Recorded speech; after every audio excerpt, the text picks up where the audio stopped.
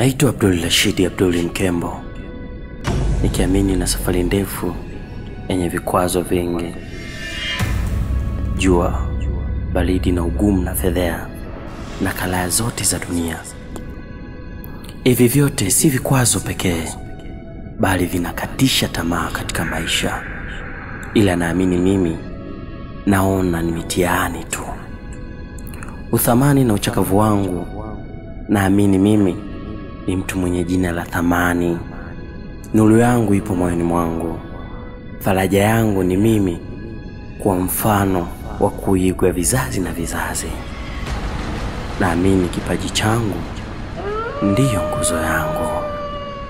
Wenzetu wanasema the only way find the limits impossible is by the going beyond into it impossible.